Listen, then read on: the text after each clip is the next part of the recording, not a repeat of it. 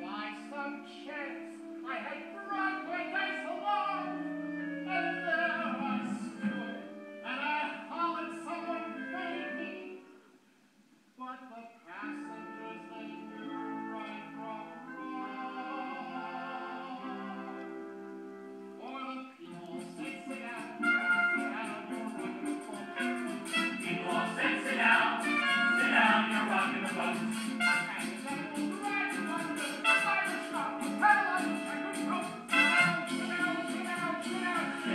now I'm